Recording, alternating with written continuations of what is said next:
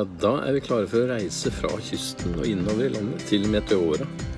Og det blir spektakulært. Altså, vi har jo sett noen bilder derfra. Og etter drøye to og en halv time så nærmer vi oss. Det er en liten antydning av fjellformasjoner her, som er litt annerledes enn det vi har sett til nå.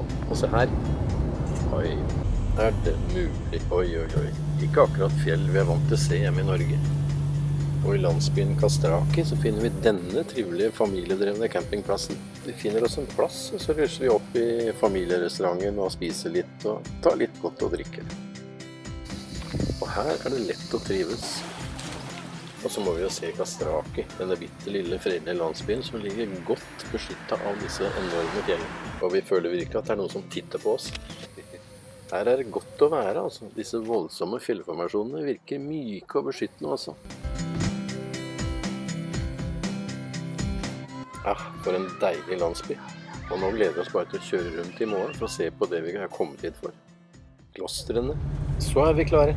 Meteora, som betyr hengende i luften, er et av de største og aller viktigste kompleksene av gresk-ortodokse klostre i Hellas. Og i dette området er det seks klostre som er bygget på naturlige klipper av sandstein.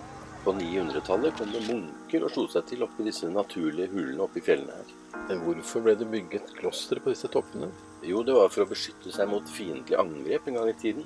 Og for å komme nærmere Gud. Og den eneste ankomsten var å klatre en lang stige som munkene kunne trekke opp om de følte seg truet. Det antas at de første klostrene ble bygget på 1300-tallet. Og av 24 opprinnelige klostre er det nå seks igjen, og nå skal vi besøke et av dem. Og dette munkeklosteret er åpent i dag, så bli med.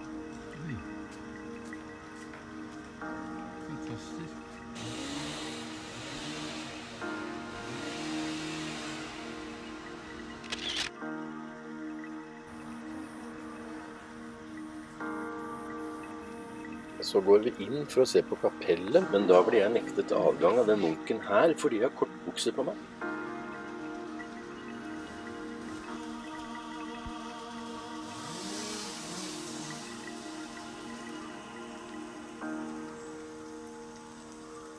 Men det skal de ha, disse klosterbeboerne.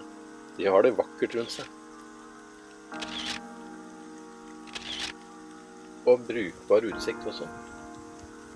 Og her ser dere det klosteret som har fått mest oppmerksomhet. Ikke rart. Så er dere på bobiltur i Hellas. Reis hit, folkens. Og Det var en ekstrem opplevelse. Og nå skal vi til Aten. Langtur i dag.